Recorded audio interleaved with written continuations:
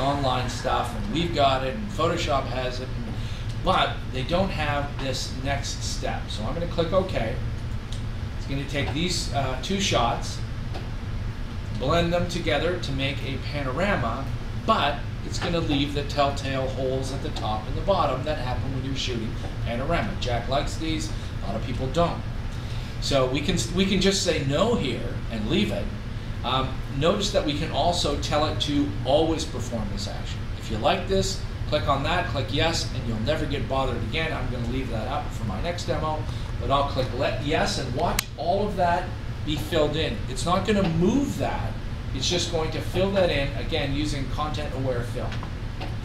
Pretty powerful effect.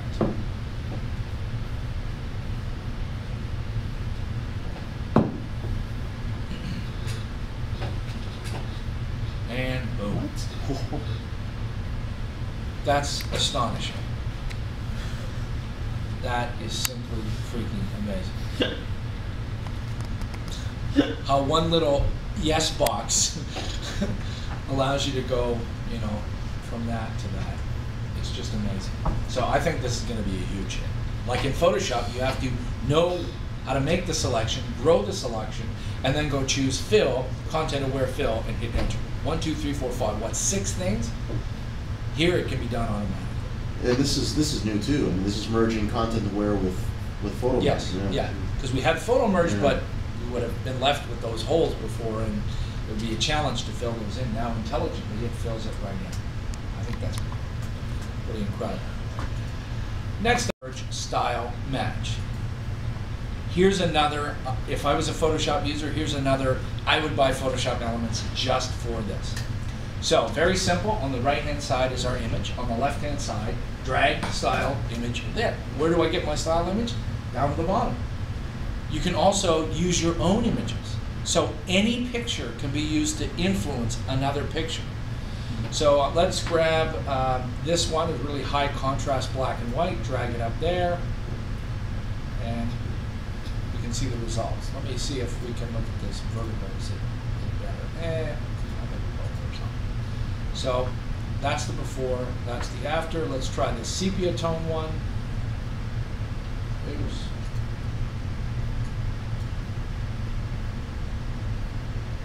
You got a sepia tone, but it stays, the, co the color stays there. If we want the colors to change, we can tell it to transfer the tones also. So now when I click here, you'll see it's all sepia. So you have an option of just the, the overall style. Let's see what the sunset looks like. Okay, let's drag that up. I'll transfer tones. Too much, we can turn the style intensity down or up. We can turn the style clarity up and down. So you can see it's, it's looking at areas, it's highlighting areas, I can enhance the details. I can also go into here and I can erase parts of what is being influenced or I can bring back that style. Completely live and editable uh, style. Of course we can reset, grab another one. This one's uh, making sure that I'm not launching anything on Facebook. You know, this catalog built with Photoshop Elements 9, pushing this button. I don't want that to happen. I got lots of friends on there, people, and some people are journalists, and I'm sure they would have something to say. So uh, share, and you can see over here I'm sharing. Uh, we've got our online albums, of course, email attachments. It's smart enough to downsize them and, and, and affect them nicely. Video sharing online, go to phones. And here we're adding Flickr, uh, Facebook, uh, SmugMug, and you can go to Photoshop.com. Uh, uh so if I click on, I'm just choosing this one photo, it could be 100 photos and 100 videos, whatever is in that bin. Remember, it's not just images, it's photo, video, and audio.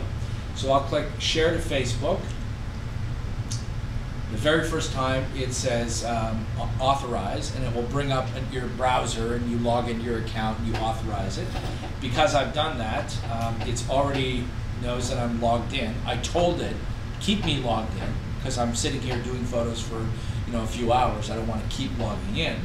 Um, upload photos from an existing uh, to an existing album. So these are my albums on Facebook And again, you have to allow it to do that. Once you allow it, it takes a second, it downloads, it's now connected through my Facebook account.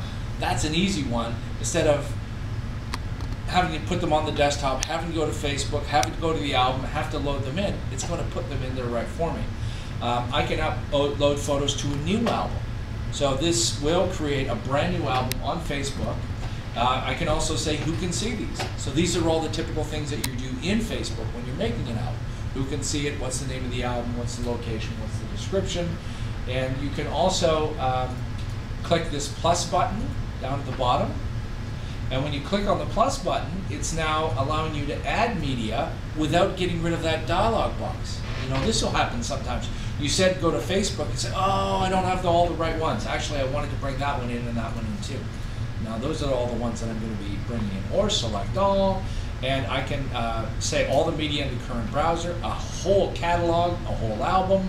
I can have keyword tags in there, show only media that I've rated, and also show any hidden files, because one of the things that you can do in the database here is you can hide files. Hide that one, hide that one, I don't want to look at that. Oh, you know what, let's upload those at the same time. So um, I can click done, and it's going to add that media in there. I still haven't uploaded it yet. Making sure that I'm not launching anything on Facebook. You know, this catalog built with Photoshop Elements 9, pushing this button. I don't want that to happen.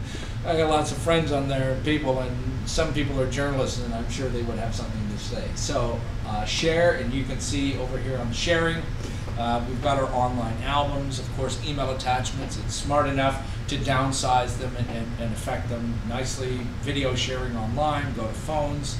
And here we're adding Flickr, uh, Facebook, uh, SmugMug, and you can go to Photoshop.com. Uh, uh, so if I click on, I'm just choosing this one photo, it could be 100 photos and 100 videos, whatever is in that bin. Remember, it's not just images, it's photo, video, and audio. So I'll click share to Facebook. The very first time it says um, authorize and it will bring up your browser and you log into your account and you authorize it. Because I've done that, um, it's already knows that I'm logged in. I told it, keep me logged in because I'm sitting here doing photos for you know a few hours. I don't want to keep logging in. Um, upload photos from an existing uh, to an existing album. So these are my albums on Facebook. And again, you have to allow it to do that.